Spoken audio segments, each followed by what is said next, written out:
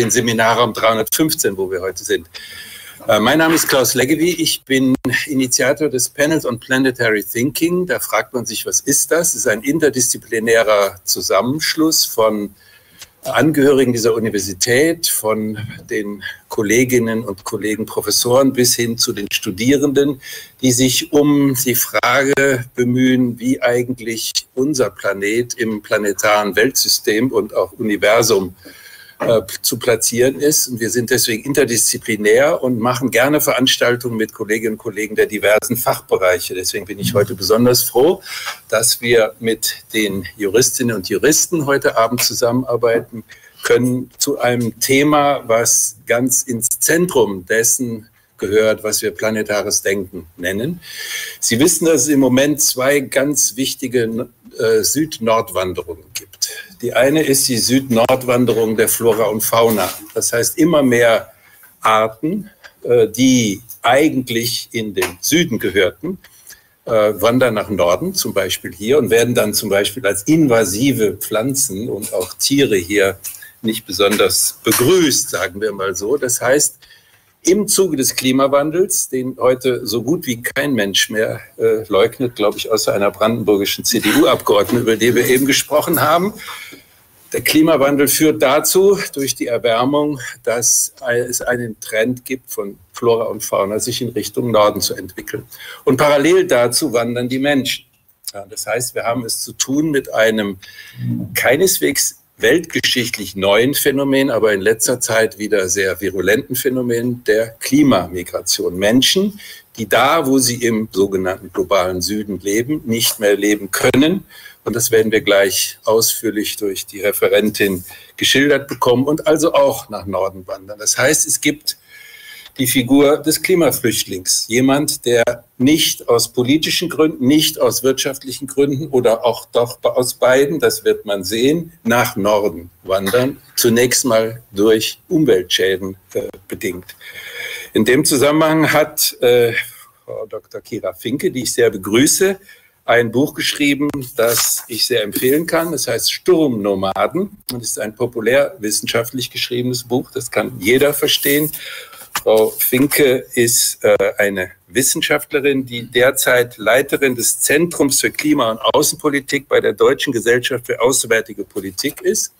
Das ist ein wichtiges Politikberatungsgremium in Berlin, das die auswärtige Politik der Bundesregierung und auch im europäischen Maßstab berät. Und sie ist Co-Vorsitzende des Beirats der Bundesregierung für zivile Krisenprävention und Friedensförderung. Äh, unsere, ihre Forschungsthemen sind die Klimafolgen und die gewaltsamen Konflikte sowie die zivile Krisenprävention, vor allen Dingen in Südasien, im Sahel und im Pazifikraum. Das sind Orte, die Frau Finke auch alle bereist hat. Wir kennen uns aus dem wissenschaftlichen Beirat der Bundesregierung Globale Umweltveränderungen, dem ich, nee, wir beide, bis 2018 angehörten. Ich war Beirat, Frau Finke war dort die Referentin, die für John Schellenhuber, den Leiter des WBGU damals äh, tätig war. Daher kennen wir uns und äh, haben viele gemeinsame Gutachten erstellt, die auf das Problem des Klimawandels, aber auch des Artensterbens, des Biodiversitätsverlustes und anderer Themen hingewiesen haben. Und berühmt geworden ist unser Transformationsgutachten, das, glaube ich, 2014 äh, veröffentlicht wurde. Ähm, ich bin sehr froh, dass sie da ist. Sie wird uns heute in circa 30, 35 Minuten einen Vortrag zu diesem Thema halten. Äh, wir sind heute besonders froh, mit den Juristen zusammenarbeiten zu äh, können. Das heißt, zunächst wird sich dann äh, in einem ersten, einer ersten Reaktion auf Frau Finkes Vortrag die Forschungsgruppe MEDIMI, Menschenrechtsdiskurse in der Migrationsgesellschaft, äh, zu Wort melden. Das ist thematisch dann ganz eng. Und ich bin auch sehr froh, dass wir mit dem umweltrechtlichen Praktikaseminar äh, heute zusammenarbeiten. Und ähm, das wird gleich noch etwas genauer vorgestellt. Jetzt zunächst mal zu dem Vortrag von Frau Finke. Wir sind sehr gespannt, was sie uns erzählen.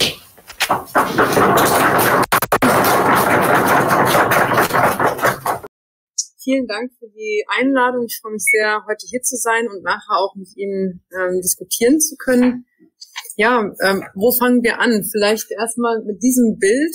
Ähm, es gibt ähm, eine große Anzahl von Menschen, die vertrieben sind aus ganz unterschiedlichen Gründen. Und wenn man sich die Zahl 2020 äh, von 2020 ansieht, dann sieht man, dass die meisten neuen Vertreibungen innerhalb von Ländern, ähm, also das sind Zahlen vom IDMC, dem Internal Displacement Monitoring Center, wenn man sich diese Zahlen anschaut, dann sieht man, dass wenn man hier so ein bisschen reinzoomt, weil es doch sehr klein ist, dass aufgrund von Konflikten und Gewalt äh, ungefähr 10 Millionen Menschen neu vertrieben worden sind und aufgrund von Naturkatastrophen 30 Millionen Menschen neu vertrieben wurden im Jahr 2020. Das sind, wie gesagt, alles die, die Binnenmigrationen und natürlich sind es äh, die Naturkatastrophen nicht alles klimabedingte Naturkatastrophen, sondern das sind auch solche, die aufgrund von natürlicher Variabilität, ähm, Extremwetterereignisse, die in einem normalen Klima auch stattfinden würden, ähm, sich vollziehen und dann eben sehr viele Menschen äh, um ihre Heimat berauben. Ganz wichtig zu verstehen ist es eben, dass es verschiedene Treiber von Migrationen gibt. Es gibt politische Treiber, demografische Treiber, es gibt ökonomische Treiber. Und auf diese unterschiedlichen Treiber wirkt ähm, der Klimawandel ähm, ein. Also er kann Umweltbedingungen verschlechtern, er kann Extremereignisse häufiger werden lassen und dadurch eben ähm, beispielsweise Lebensgrundlagen vernichten, er kann soziale Strukturen beeinflussen und die Entscheidung dann zu migrieren oder nicht zu migrieren ist natürlich immer noch eine, die ein Individuum, ein Haushalt zusammenfällt. Und es gibt auch Menschen, die selbst wenn es extrem schwerwiegende Extremereignisse gibt, trotzdem dort bleiben, wo sie sind. Entweder weil sie nicht fliehen können oder weil sie nicht fliehen wollen, weil sie sagen, ähm, bevor ich migriere, ähm, sterbe ich lieber und ich bleibe hier, wo ich bin, auch wenn die Risiken ganz stark ansteigen. Ja, von diesen Themen handelt mein Buch ähm, Sturmnomaden, in dem ich meine Forschungsarbeit der ja, letzten neun Jahre ähm, ja aufarbeite in einer Art und Weise, die eben sowohl die Erlebnisse, die ich mit den Interviews, die ich mit vielen, vielen Menschen in unterschiedlichen Ländern geführt habe, mit vielen Vertriebenen geführt habe, als auch die ähm, wissenschaftlichen Erkenntnisse aufarbeitet und in einem Buch zusammenführt. Und da geht es eben ähm, in verschiedene Weltregionen, ähm, wo es eben unterschiedliche Klimafolgen gibt, die unterschiedliche Migrationsbewegungen auslösen. Aber bevor ich in jetzt unterschiedliche Fälle reinschauen will, will ich noch mal kurz ein Thema aufgreifen, warum das Thema auch so brisant ist. Ähm, wie ich vorhin schon gesagt habe, die meiste Migration, die aufgrund von Klimafolgen stattfindet, findet innerhalb von Landesgrenzen statt. Das liegt daran, dass Menschen ähm, oft nicht so weit migrieren wollen, weil sie eigentlich in ihrem Kulturkreis verbleiben möchten, weil ähm, ihre Familien dort leben oder auch weil sie die Hoffnung haben, wieder zurückzukehren. Ähm, das ist auch bei uns nicht anders. Also wenn wir uns jetzt die Katastrophe im Ahrtal anschauen, dann sind die meisten Menschen sehr daran äh, interessiert, wieder zurückzuziehen. Viele sind auch schon zurückgezogen, äh, andere sind in umliegende Dörfer gezogen, aber wenige jetzt ganz weit weg. Ähm, und so ist es eben auch in anderen Ländern. Aber es gibt eben auch Migrationsbewegungen, ähm, die dann über Grenzen hinwegführen, beispielsweise dann, wenn es innerhalb des eigenen Landes keinen Schutz mehr gibt. Und ähm, hier greifen eben verschiedene Rechtsinstrumente oder in dem Fall von Klimamigration eben auch nicht.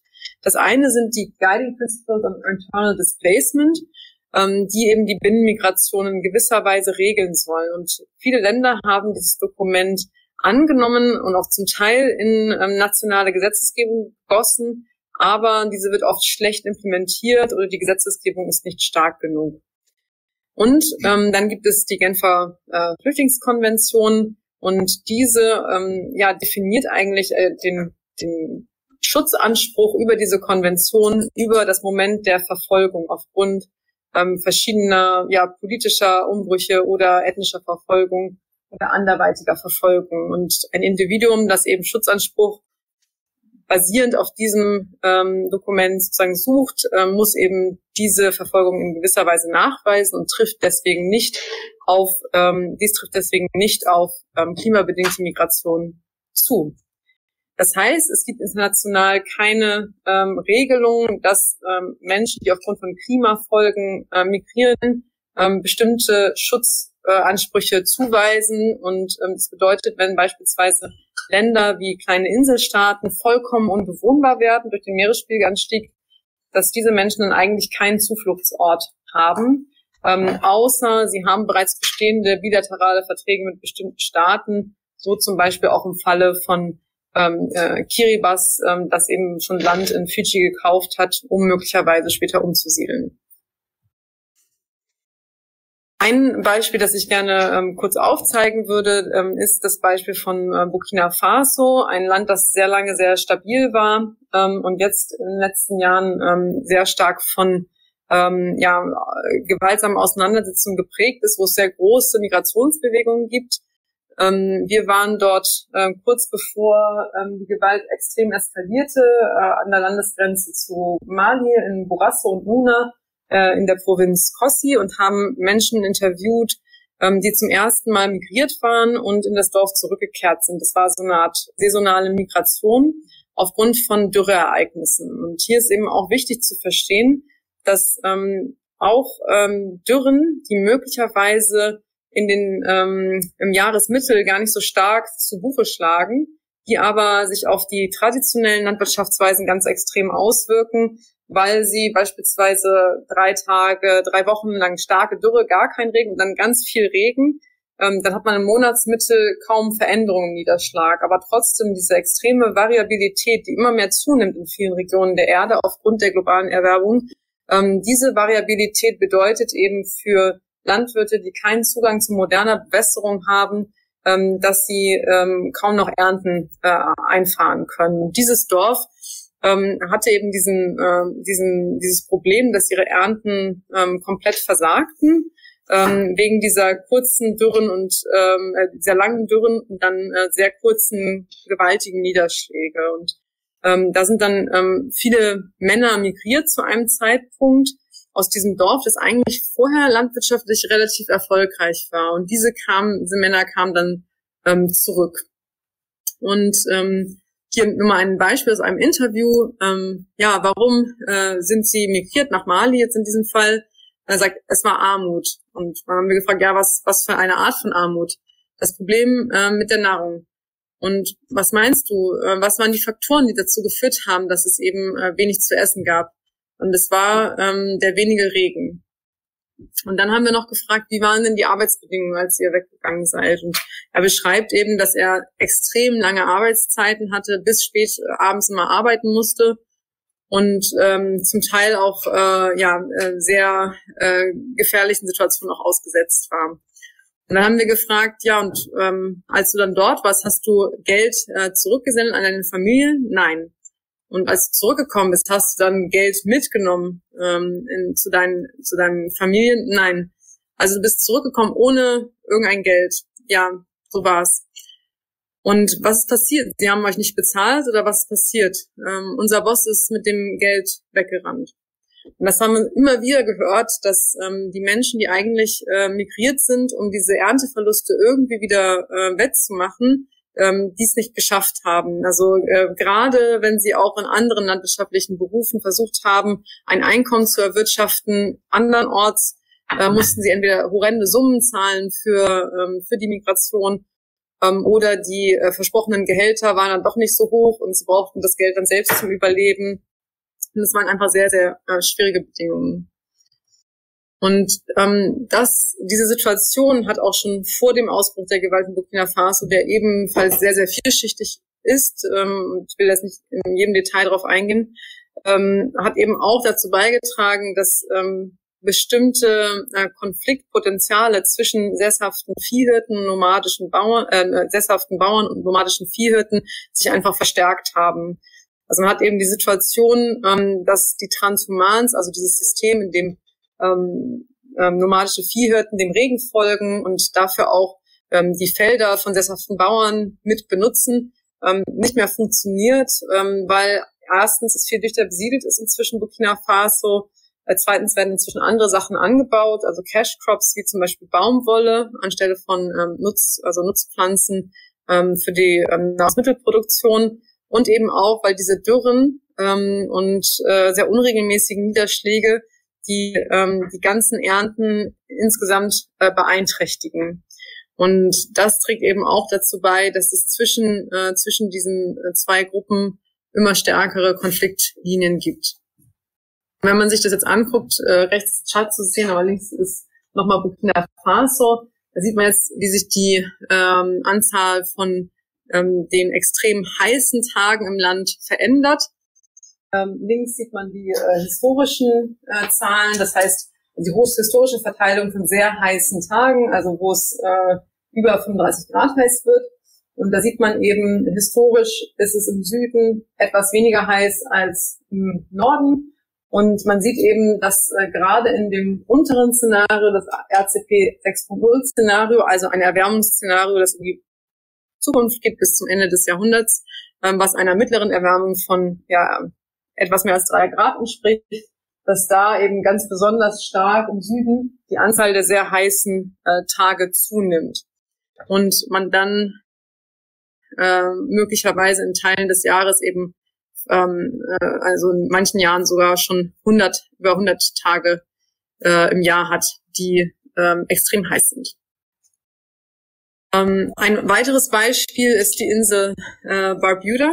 Ähm, Barbuda ist Teil eines Zwillingsstaates. Antigua und Barbuda sind zwei Inseln, die zu einem Staat gehören in der Karibik, ähm, wo ähm, ein extremer tropischer Zyklon ähm, Barbuda traf und ähm, die Menschen evakuiert worden sind im Nachgang zu diesem extremen Sturm, weil ein weiterer tropischer Zyklon drohte, die Insel zu treffen.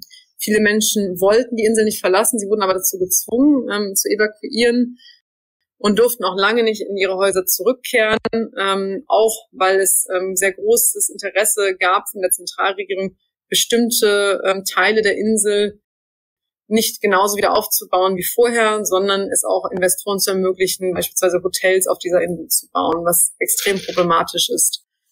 Und man sieht eben, ich habe bei mir zwei Jahre nach dem tropischen Sturm Irma eben besucht und ähm, mit Menschen gesprochen und man sieht hier, dass auch zwei Jahre danach ähm, vieles weiterhin zerstört war. Und dass eben auch wenn diese Ereignisse, ähm, darüber wurde viel berichtet zu dem Zeitpunkt, ähm, auch in der New York Times und so weiter, aber dass ähm, Jahre danach, wenn diese Ereignisse schon längst aus den Zeitungen auch verschwunden sind, dass dann eben ähm, immer noch die Schäden extrem groß sind, die Menschen immer noch leiden. Ähm, als ich da war, es gab unregelmäßig Strom, es gab äh, kein fließendes Wasser an vielen Häusern und ähm, die Situation war sehr problematisch immer noch. Die Menschen waren zurückgekehrt, lebten aber zum Teil noch in Zelten. Teile wurden auch wieder aufgebaut und das eine Haus da dahinter da hat eine NGO ähm, das mit, mit wieder aufgebaut. Aber hier zum Beispiel dieser junge Mann zeigt mir, wo sein Haus früher stand und da ist eben gar nichts mehr zu sehen außer dem Fundament. Ja, und er beschreibt das eben nochmal, ähm, die Menschen in Barbuda haben, wurden psychologisch davon beeinflusst ähm, nach diesem Hurricane und sind noch mehr traumatisiert worden, weil sie evakuiert werden mussten. Ähm, und äh, viele hatten das Land noch nie verlassen. Und jetzt äh, finden sie es jetzt sehr, sehr schwierig, sich wieder einzufügen. Und man sieht eben, dass diese Gemeinschaften, die so über viele Jahre ja auch gewachsen sind, ähm, dann so durch einen solchen Sturm extrem auseinandergerissen werden und dass ähm, sich dadurch sehr, sehr viele soziale Geflechte auch ähm, ja wieder neu, äh, neu erst bilden müssen, wenn Menschen anfangen zurückzukehren, wieder aufzubauen. Ja, und das nochmal ähm, ähm, aufzudröseln. Ähm, wir haben da eine wissenschaftliche Studie zu veröffentlicht, ähm, wann man eigentlich von Anpassung spricht im Kontext von Migration. Also ähm, der Diskurs ist so ein bisschen äh, gewandert von Migration als Folge des Klimawandels, als Migration als Anpassungsstrategie an den Klimawandel, auch weil vielen Menschen es gar keine andere Möglichkeit mehr gibt, als ähm, sich durch Migration anzupassen, weil sie sonst äh, Leib und Leben riskieren, wenn sie vor Ort bleiben. Aber aus meiner Sicht muss man hier eben stark unterscheiden, weil es eben sehr, sehr viele ähm, Folgen von Migration gibt, die für die Betroffenen selbst sehr negativ sind. Also wo sie es eben nicht schaffen, ihren Lebensstandard zu halten nach der Migration, sondern äh, immer weiter in so Art Armutsspiralen äh, ja, zu fallen. Wir haben ähm, gerade auch mit Hinblick auf die kleinen Inseln uns äh, sehr intensiv damit beschäftigt ähm, und auch für die GEZ hierzu eine Studie entwickelt, wo wir eben dieses äh, Beispiel in der Karibik, aber auch bestimmte andere Inselstaaten eben äh, analysieren. Und hier ist ähm, nochmal ein anderer Überblick, wo ähm, äh, wir am Potsdam Institut für Klimafolgenforschung ähm, auch eine Studie erstellt haben über unterschiedliche Treiber von Migration und ähm, wie diese Migrationsbewegungen eben innerhalb von Ländern verändern und haben dann so Übersicht erstellt. Ich will mal eins noch ein bisschen tiefer einsteigen. Das ist äh, Bangladesch. Äh, und man sieht hier eben, ähm, es gibt ganz unterschiedliche Klimafolgen in Bangladesch. Bangladesch gilt als Hotspot des Klimawandels, weil es eben ähm, ein, ein flachliegendes deltarisches Gebiet ist, das stark von tropischen Zyklonen auch noch betroffen ist und ähm, eben auch ähm, durch die Kombination von tropischen Zyklonen in Verbindung mit dem Meeresspiegelanstieg ähm, diese stärker werdenden Stürme eben immer größere Überflutungszonen hervorrufen. Und ähm, wenn das Wasser dann sich zurückzieht und vielleicht die Menschen sich über äh, verbesserte Katastrophenvorsorge auch äh, gerettet haben, kann es aber immer noch sein, ähm, dass der Überlebenskampf dann noch äh, Wochen, Jahre weitergeht, weil das gesamte Land ist erstmal versalzen, ähm, ist ja alles Meerwasser.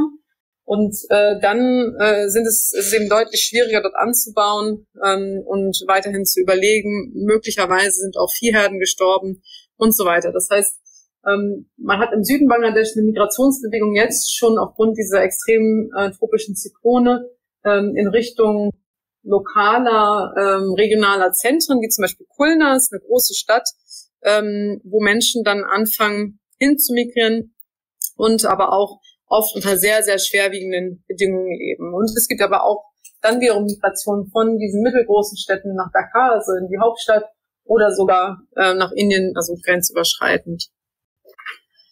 Und ähm, was wir eben beobachtet haben, ist, dass viele Menschen dadurch, dass sie eigentlich ähm, durch ihre vorherigen landwirtschaftlichen Tätigkeiten kaum Fähigkeiten haben, in den Städten sich dann zu behaupten. Also wenn sie von einem Zyklon geflohen sind aus diesen ländlichen Gebieten, ähm, haben sie oft nicht die Fähigkeiten, Skills, Trainings, um sich im urbanen Arbeitsmarkt irgendwie zu integrieren. Und das heißt, ähm, sie müssen dann äh, in sehr, sehr schwierigen Bedingungen leben, also sie siedeln oft in Slums, fallen dann oft auch in, ähm, in Schuld, weil sie also Schulden aufbauen, ähm, um Mieten zu bezahlen. Ähm, oft gibt es relativ hohe Mieten in urbanen Slums, ähm, äh, die aber trotzdem keine ja, Sicherheit versprechen, ähm, weil diese oft eben nicht richtig reguliert wurden. Und das bedeutet eben, ähm, dass Menschen dann auch dazu gezwungen sind, ähm, ja, sehr, sehr schwierige körperliche Tätigkeiten zu verrichten ähm, äh, und äh, beispielsweise im, im Bau, Baugewerbe oder mit Fahrradrikschas fahren und ähm, sie aber auch in diesen urbanen Zentren nicht zwingend vor Klimafolgen geschützt sind. Also es ist quasi ein Risikotausch. Ähm, man sieht eben, dass Menschen ähm, etwa äh, das Risiko im ländlichen Gebiet von eben ja Nahrungsunsicherheit betroffen sind, eintauschen gegen ja auch Risiken, Gesundheitsrisiken, die in Slums zum, zum Teil entstehen. Ähm, es ist auch eine extreme Hitze, ähm, wenn man so ähm, dicht beieinander wohnt und unter diesen ähm, Wellblechdächern wohnt und ähm, auch mit offenen Kochstellen kocht, ist es äh, extrem schwierige Lebensbedingungen. Wenn es eben immer heißer wird, ähm, wird es auch in den Slums immer unerträglicher noch ein Aus, Auszug, ähm, wo eben uns äh, jemand erzählt hat, äh, wir können hier eigentlich nur überleben. Uns ging es besser im Dorf, als wir unser eigenes Land hatten. Das Land war eben vom Zyklon zerstört worden. Jetzt sind wir ähm, die Bettler. Und das ist eben, also diese Ausschnitte sind eben insofern äh, relevant, als dass sie eben sehr, sehr viele Aussagen irgendwie zusammenführen. Also es gab viele Aussagen, die denen geähnelt haben. Ähm, wenn wir uns jetzt anschauen, das sind jetzt Berechnungen von der Weltbank, ähm, wo auch Kollegen von mir daran mitgewirkt haben, ähm, wie sich die Binnenklimamigration bis 2050 verändert, dann äh, geht man davon aus, dass bis Mitte des Jahrhunderts äh, in diesen Weltregionen äh, bis zu 140 Millionen Menschen äh, durch die Klimafolgen zusätzlich vertrieben werden. In einem pessimistischen Szenario aber wenn man jetzt stark die Klimafolgen senkt, das ist das Szenario ganz rechts, kann diese, ähm, diese Zahl auch äh, weiter nach unten gedrückt werden. Es gibt inzwischen auch neuere Berechnungen äh, von 2021, die noch weitere Regionen umfassen, die von weltweit um die 200 Millionen Vertriebene bis Mitte des Jahrhunderts in so einem pessimistischen Szenario ausgehen. Aber es gibt auch neues Momentum äh, möglicherweise für den Schutz von Klimamigranten. Ähm, es gab äh, zu Beginn der äh, Amtsperiode von Joe Biden einen Executive Order, ähm, der eben auch beauftragt hat, äh, stärker ähm, sich mit dem Thema der Klimamigration zu beschäftigen, wo es eben ein starkes Umschwenken von dem vorherigen, äh, von der vorherigen Trump-Administration gab. Und auch äh, UNHCR hat jetzt ein sehr starkes äh, Klimateam, das sich eben auch mit unterschiedlichen Fragen von ähm, Klimavertreibung, aber bis hin auch zu, wie können eigentlich ähm, ja die Schutzzentren, äh, die UNHCR mit aufbaut, auch emissionsneutraler gestaltet werden. Also es, es passiert hier in diesem Bereich schon eine Menge. Ein ganz wichtiger Faktor sind eben die Städte und das ist unsere gemeinsame Arbeit ähm, der WBU-Report zur Urbanisierung 2016 erschienen, aber immer noch ähm, ein sehr, sehr wichtiges äh, Dokument, das eben diese verschiedenen Aspekte von äh, urbaner Transformation ähm, in Städten äh, wie Gießen, wie Berlin, aber auch äh, hin zur Nachhaltigkeit hin, aber auch äh, von Slums, wie können Slums lebenswerter gestaltet werden, wie können sie mehr Menschen auch aufnehmen, ähm, wie kann es, ähm, wie kann sozusagen diese Wucht ähm, verursacht durch, äh, durch die Klimakrise, wie kann diese quasi abgefedert werden. Nochmal, warum ist das so wichtig? Ähm, wenn man sieht, ähm, wie sozusagen die größten Slums der Welt ähm, und die Klimafolgen, die dort auftreten, dann sieht man, da ist einfach sehr viel Potenzial für sehr viel menschliches Leid da. Ähm, wenn wir jetzt mal äh, Kibera Slum in Kenia ansehen, ähm, 700.000 Einwohner ungefähr, niemand weiß es ganz genau. Ähm, es gibt extrem Regenereignisse, ähm, gleichwohl gibt es Dürre immer wieder und es gibt auch äh, extreme Hitze, die eben das Leben dort erschweren. Aber es gibt auch innovative ähm, ja, Ansätze, wie zum Beispiel die, die schwimmende Schule von Kunle Adeyemi, ein ähm, nigerianischer Architekt, der ähm, in, in Lagos diese schwimmende Schule äh, entwickelt hat und äh, Prototypen gebaut hat, die eben ja mit äh, natürlichen Materialien und äh, neuen Technologien, also Solarpaneele, äh, versucht, eine Schule zu erbauen in dem schwimmenden Slum von, von Lagos und dort eben ein, ein gutes Lernen ermöglicht. Oder auch zum Beispiel die Global Mayors Task Force on Climate and Migration, die wurde von dem C40-Netzwerk, C40 Network äh, zu Städten initiiert und ähm, dem Mayors Migration Council, die eben zusammen äh, auch versuchen, mit Bürgermeister in Lösungen zu erarbeiten, die dann direkt ansetzen können. Warum ist das so wichtig? Entschuldigung, so mir ein bisschen verrutscht vom, äh, vom Layout. Ähm, wenn wir jetzt in die Zukunft weit nochmal in die Zukunft schauen, bis Mitte, äh, bis Ende des Jahrhunderts, 2100, und uns unterschiedliche Erwärmungsszenarien ansehen, dann sieht man hier an dieser Slide, dass es eben ähm, zu extremen Verschiebungen in der Population kommen könnte.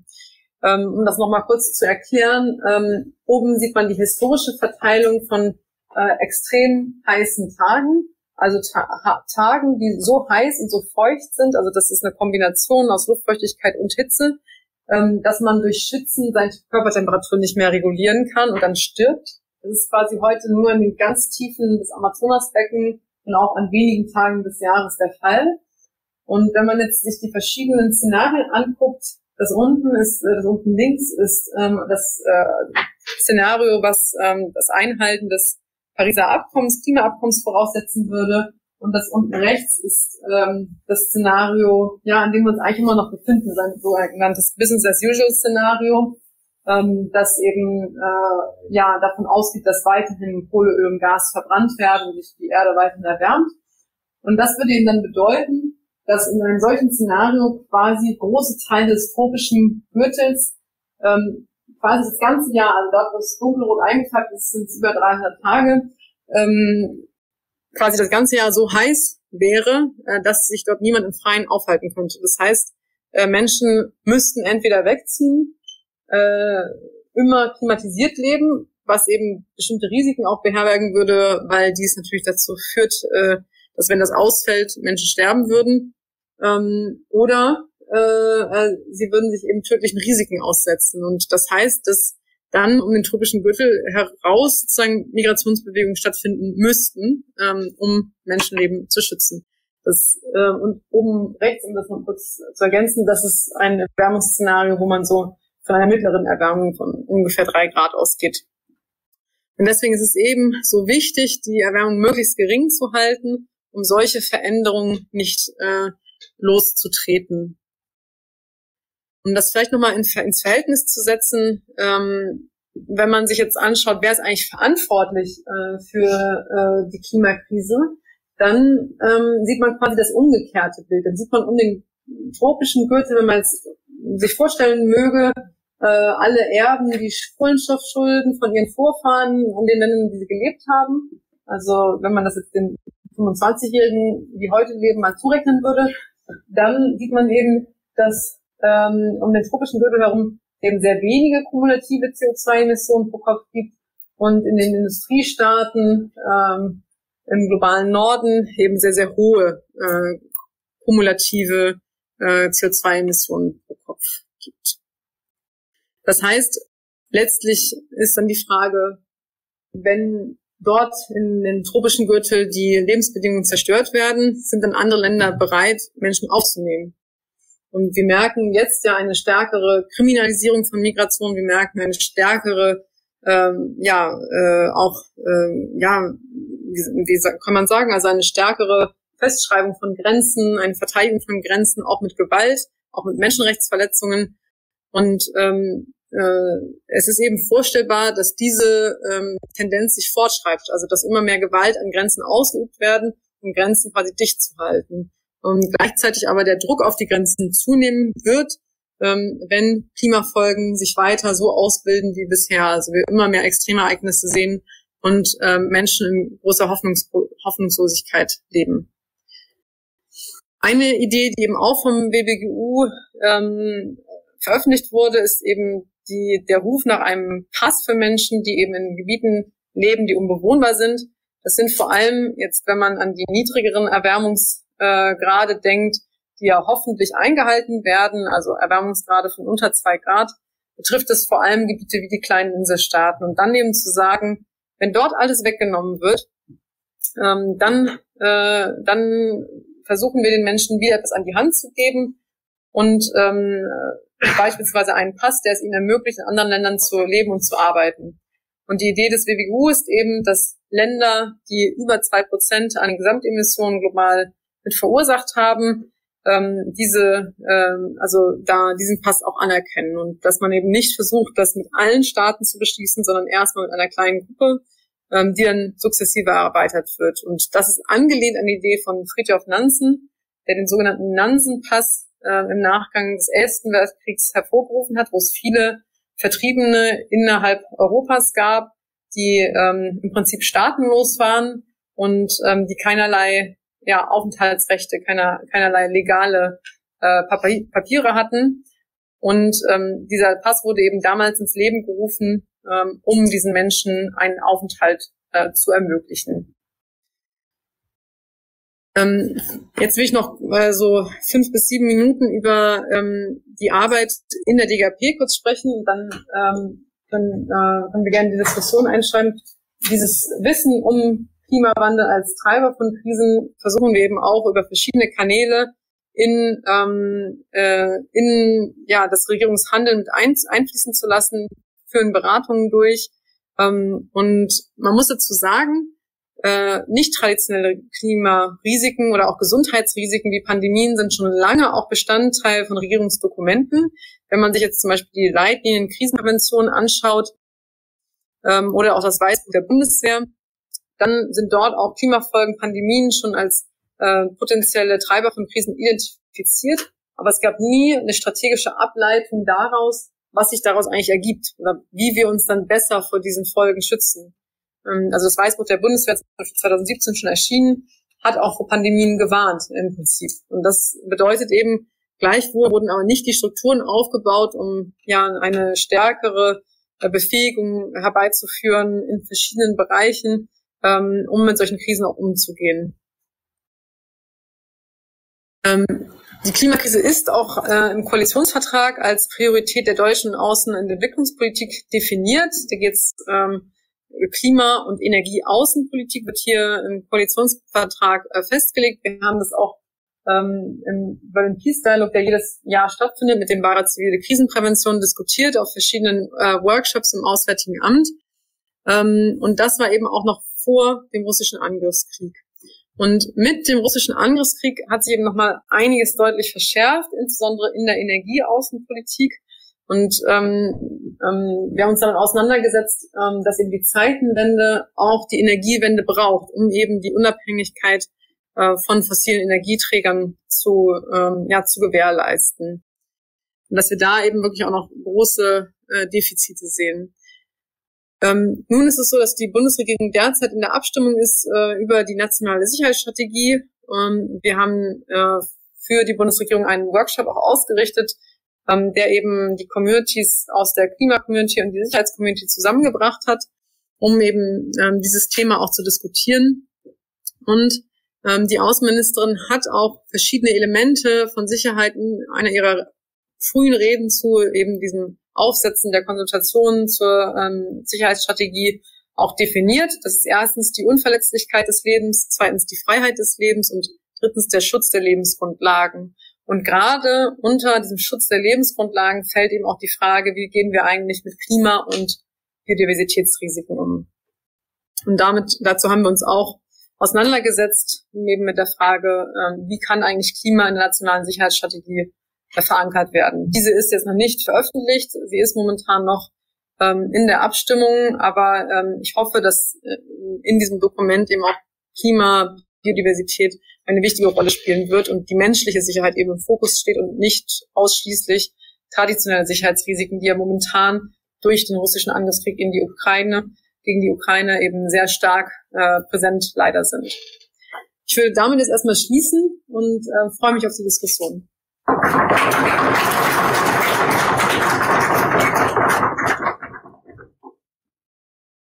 Ja, vielen Dank für diesen Überblick, äh, auch in die Gebiete, in denen du warst, was man beratungsmäßig äh, tun kann. Ich würde jetzt Herrn Eigner bitten, den neuen Forschungsbereich, kann man ja so sagen, noch kurz vorzustellen und dann beginnen wir die Debatte mit Herrn. Ja, vielen Dank, Herr Legedi. Äh, ja, mein Name ist Maximilian Eigner. Ich bin ähm, Projektkoordinator der Forschungsgruppe MEDIMI, kurz für Menschenrechtsdiskurse in der Migrationsgesellschaft, äh, die den heutigen Abend mitveranstaltet. Daher darf ich Sie auch im Namen der Forschungsgruppe alle nochmal äh, ganz herzlich begrüßen. Ähm, ich möchte mich zunächst natürlich bei Kira Finke für den äh, spannenden Vortrag bedanken, äh, ebenso wie bei unseren Kooperationspartnern, dem äh, Panel on Planetary Thinking und dem umweltrechtlichen Praktikerseminar, äh, für die Zusammenarbeit und die Möglichkeit, das heute hier gemeinsam zu veranstalten. Ähm, wir freuen uns besonders über den Vortrag und das rege Interesse heute, weil es die erste Veranstaltung ist, äh, an der unsere Forschungsgruppe öffentlich beteiligt ist. Äh, wir haben unsere Arbeit im vergangenen September aufgenommen, stehen also noch am Anfang unseres Arbeits- und Forschungsprozesses ähm, Medimi ist ein von der deutschen Forschungsgemeinschaft geförderter interdisziplinärer Forschungsverbund, ähm, der sich mit der Reichweite, den Formen den Folgen des Vordringens von Menschenrechtsdiskursen in Migrationsgesellschaften, in von Migration geprägten Gesellschaften ähm, beschäftigt. Das tun wir in äh, zehn Teilprojekten aus verschiedenen Disziplinen, aus den Rechtswissenschaften, äh, aus verschiedenen Sozial- äh, und Kulturwissenschaften mit einem äh, regionalen geografischen Schwerpunkt hier in Gießen und in Marburg äh, und anderen Teilprojekten in ähm, Jena, Amsterdam, Münster und Frankfurt. Die äh, zeitdiagnostische Ausgangsbeobachtung von Medimi lautet, dass ähm, etwa seit den 1990er Jahren verschiedenste migrationsgesellschaftliche Akteure verstärkt auf ähm, Menschenrechtsnormen Bezug nehmen, um ihre Interessen und ihr Selbstverständnis zu artikulieren äh, ein Prozess, den wir in verschiedenen gesellschaftlichen Bereichen beobachten, im Rechtssystem, ebenso wie in ähm, politischen Konflikten und Aushandlungsprozessen, äh, aber auch in alltäglichen ähm, professionellen, ähm, soziokulturellen Kontexten. Daher auch der ähm, interdisziplinäre Charakter unseres Projekts und den wir, ähm, ein Prozess, den wir schlagwortartig als Vermenschenrechtlichung äh, bezeichnen oder begrifflich zu fassen versuchen. Ähm, was diese jetzt vielleicht erstmal abstrakte Diagnose mit der Frage, Fragen der Klimamigration und damit zusammenhängenden migrationsrechtlichen ähm, Fragen bedeuten könnte. Dieser Frage wird sich jetzt äh, Jürgen Bast äh, widmen. Äh, Jürgen Bast ist Professor für öffentliches Recht und Europarecht äh, hier in Gießen, Sprecher der Forschungsgruppe Medimi äh, und zugleich Leiter eines der ähm, juristischen Teilprojekte innerhalb von Medimi, das sich mit den äh, Grenzregimes der Europäischen Union beschäftigt. Und ähm, er wird jetzt anschließend an Frau Finkes Vortrag, äh, den Vortrag aufgreifend, die Diskussion beginnen mit einem Kommentar zum Thema äh, Klimamigration und die Vermenschenrechtlichung des Flüchtlingsrechts. Dankeschön.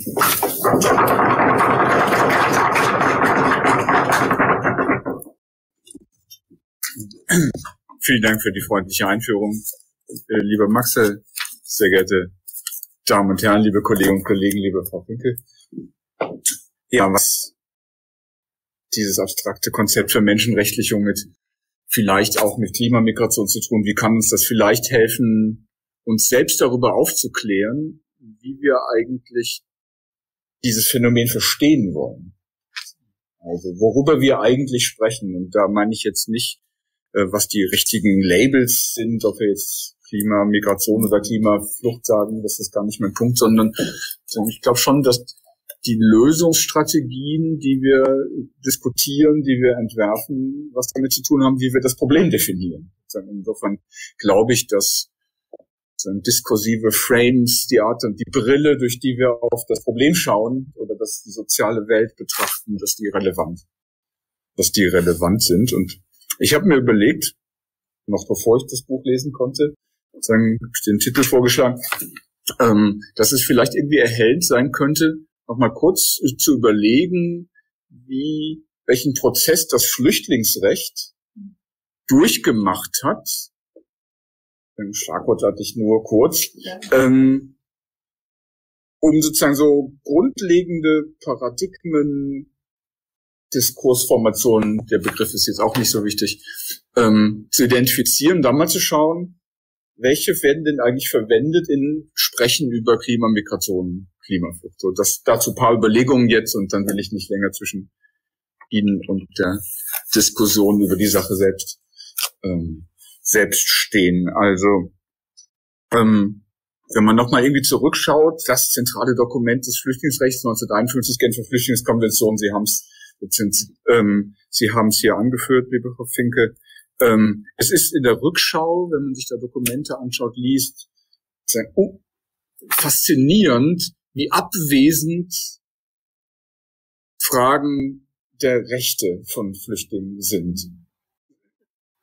Nicht in dem Dokument selber, aber in dem Sprechen selber, also die Leute, die die Genfer Flüchtlingskonvention ausgehandelt haben, die wollten mit diesem unverbindlichen Gerede der Menschenrechte, was gerade frisch gescheitert war, weil es nicht gelungen war, in der UN irgendwas Verbindliches auf die Beine zu stellen, wollten die nichts zu tun haben. Die wollten einen ernsthaften Vertrag haben. Und im Kern waren eigentlich sich die zentralen Akteure einig, dass es hier darum geht, ging, ein Problem für die internationale Sicherheit zu adressieren, dass immer noch im Jahr 1951 sozusagen eine ungeheuer große Zahl von Menschen, die im Zuge des Zweiten Weltkriegs vertrieben worden waren, innerhalb von Europa sozusagen in den Lagern sozusagen saßen. Die Stabilitätsfragen, Krise, das waren sozusagen das eigentliche Frame. Ähm, also nicht, es ging nicht um Menschenrechte. Heute würde jeder Juristin sich fragen, der sich ein bisschen auskennt, sagen, klar, die Genfer Flüchtlingskonvention ist ein Menschenrechtsdokument. No. Dann ist interessant zu sehen, das ist der erste, ne? Krise, Sicherheitsdenken. Und das Zweite ist, dass sich dann erstaunlich spät eigentlich so ein, eine, ein Blick auf das Fluchtgeschehen und Flüchtlinge und auch im juristischen Diskurs auf das Recht, das dort gilt, Bahn gebrochen hat, das so humanitaristisch geprägt war, das, das von Empathie für die Betroffenen ähm, geprägt ist. Also die zivilgesellschaftlichen Organisationen, die wir auch zum Teil heute noch kennen, Médecins Sans Frontières, die treten irgendwann auf den Plan und internationale, was vorher als internationale Krise definiert worden war, wird auf einmal eine humanitäre Krise. Also Stichworte wie Empathie, menschliches Leid fangen an, sozusagen im Sprechen über Flüchtlinge eine Rolle zu spielen. Und erst erstaunlich spät, man kann es eigentlich ziemlich genau datieren, beginnt ein Verständnis dieses ganzen Rechtsgebiets und seiner zentralen Rechtsdokumente als Menschenrechtsschutz.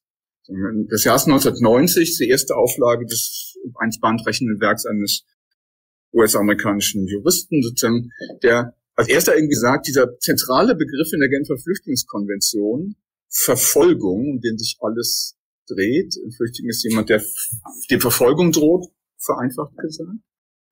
Verfolgung heißt Menschenrechtsverletzung. Das war neu.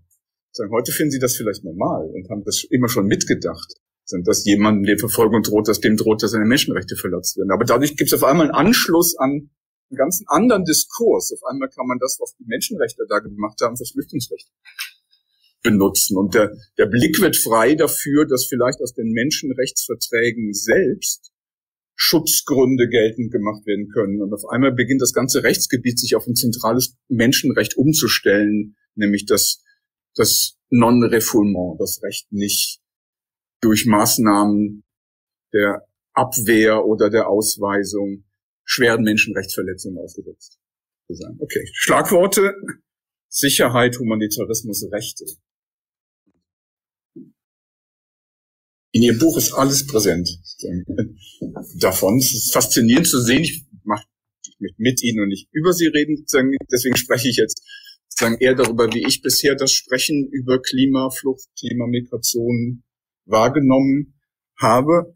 Und meine Befürchtung, Beobachtung, erstmal neutral als Wissenschaftler Beobachtung, vielleicht aber als, als Bürger ähm, Befürchtung ist, dass wir eine Renaissance eines versicherheitlichten Denkens über Migration und Flucht im Klimakontext haben und eine Renaissance des Humanitarismus, der aber gerade das qualitative Moment, dass es sich um Menschen handelt, die vielleicht eigene Rechte haben, sozusagen erleben. Also wenn Sie so wollen, eine Regression.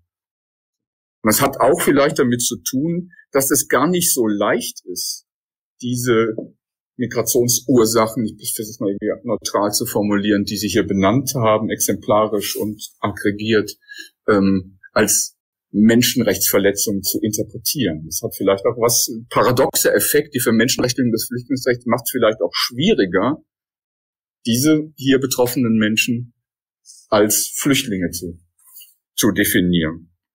Also Klimawandel als Menschenrechtsverletzung schwierig. Es fehlt den naturrechenbaren sozusagen Handlungsakteur. Das braucht man im Grunde eigentlich immer für eine Menschenrechtsverletzung. In Ihrem Buch weisen Sie das ganz wunderbar aus, dass sozusagen das geltende Recht eigentlich fallen durch alle Raster. Die kriegen wir nicht vernünftig in die Genfer Flüchtlingskonvention, aber woanders haben wir auch nichts rechtlich greif, Greifbares. Also ein spezifisches Verständnis macht es auch schwer. Ein menschenrechtliches Verständnis Flüchtlingsrecht macht es dann doch wiederum schwer, diese Prozesse hier als sozusagen rechtlich und begrifflich als Flucht zu verstehen. Deswegen nehme ich den Appell aus Ihrem Buch mit, das ich eigentlich mit nach vorne nehmen wollte.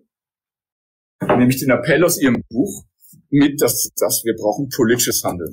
Wir brauchen ein politisches Handeln, das ein neues, das ein erweitertes internationales Regime oder ein internationales Regime schafft, ein neues Recht kreiert mit einem erweiterten Schutzkonzept für diese Form der Zwangsmigration, dass wir sozusagen wahrscheinlich lässt sich das nicht durch Fortschreibung des Alten ähm, in den Griff zu kriegen. Und da fand ich, da wäre mein Plädoyer, dass wir das nicht humanitaristisch denken, nicht aus der Perspektive der Empathie für leidende Mitmenschen, und dass wir das auch nicht der Versuchung erliegen, die Klimamigranten als bedrohliches Kollektiv da draußen zu sehen, dass wir uns nicht auf Versicherheitlichungstendenzen einlassen, sondern versuchen, dieses neue Regime rechtebasiert zu, zu bauen. Und da will ich einen Satz vorlesen, mit dem das Buch im Wesentlichen, also im Schlussakkord des Buches der mich sehr fasziniert hat und den ich toll finde, deswegen lese ich den jetzt. Wenn wir Migration als Akt der Befreiung, Agency, aus, unter, aus der unterdrückenden Wucht der Klimakrise begreifen, führt an der Zusicherung von mehr Freizügigkeit und der Verankerung von mehr Rechten auf der Flucht vor den Naturgewalten kein Weg vorbei. Ich glaube, das wäre ein guter Weg.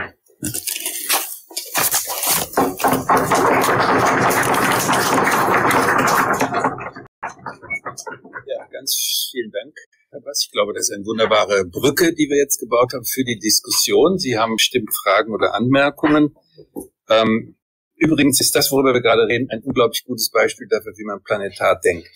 Also wie man Naturphänomene, sogenannte Naturphänomene, die häufig sozial bedingt sind, kulturell bedingt sind, die menschlich verursacht sind, wie man die einbaut in ein Handlungssystem, in dem Politikrecht äh, eben die entsprechende Rolle spielen muss. Und besonders wichtig ist eben der Aspekt, dass Flüchtlinge Rechte haben. Ja, und das haben Sie sehr schön gezeigt, wie, wie sich das überhaupt äh, ja erst spät entwickelt hat äh, in, in den entsprechenden Diskurs. Ich will aber jetzt meinerseits nicht Ihren Fragen und Anmerkungen im Weg stehen und hoffe, dass Sie die jetzt stellen werden. Ja, bitteschön. Also erstmal ganz herzlichen Dank. Finde beide Vorträge super, super spannend und anregend. Ähm, ich arbeite seit über 25 Jahren in der internationalen BZ, habe Migrationsprogramme in Zentralamerika evaluiert, unter anderem. Habe lange Jahre auch in Bangladesch gearbeitet, also kenne auch dort die Problematik ganz gut und arbeite unter anderem auch zum Thema Gender und Klimawandel und wundere mich tatsächlich, dass die Gender-Perspektive in einem Thema, wo diese Perspektive so enorm wichtig ist. Also ich schmeiß jetzt nur mal äh, Stichworte in den Raum äh, Menschenhandel, also in, insbesondere Frauenhandel. Also ich finde das in Zentralamerika so stark. Wir haben es da jetzt auch äh, mit ukrainischen Geflüchteten die Problematik.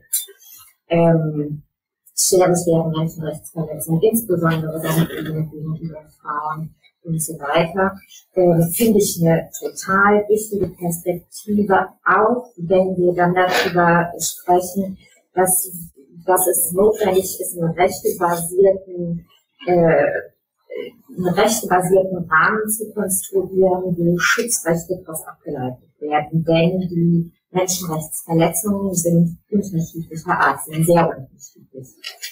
Ähm, so das eine. Und mich interessiert, natürlich, äh, wo Sie ähm, Möglichkeiten sehen. Also ich weiß, dass in Zentralamerika Menschenrechtsorganisationen, zivilgesellschaftliche Organisationen ausgehend äh, von dieser Anerkennung der Agency von Menschen, die migrieren, ähm, sehr stark darüber nachdenken, wie sie eben genau diese Schutzrechte ähm, einfordern können und was ja die Plattformen wären. Das ist ein Thema auf der COP27 gewesen, kürzlich.